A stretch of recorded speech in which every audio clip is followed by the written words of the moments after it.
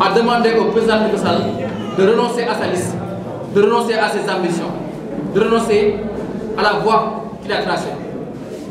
Mais cette voie, a été tracée pour nous, la jeunesse.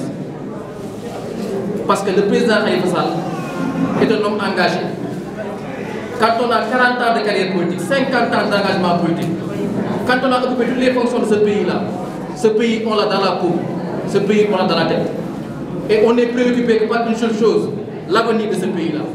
Et quand on constate que ce pays est géré avec incompétence, le devoir de chaque citoyen, de chaque responsable, c'est de se lever, de se dresser et de dire que ça ne va pas continuer, il faut arrêter. De manière démocratique. En offrant aux Sénégalais et aux Sénégalaises la possibilité de s'exprimer à travers les urnes, en leur proposant une alternative.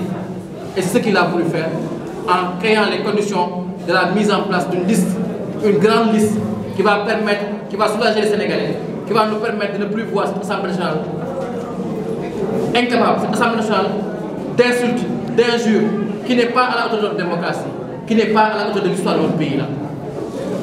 Et c'est ce chantage-là qui a vu euh, le président Khalifa Sall refuser dignement, refuser avec fermeté, refuser avec verticalité, pour dire que le projet que j'ai pour les plages sénégalaises, le projet que j'ai pour ce pays-là, personne nëppal la rek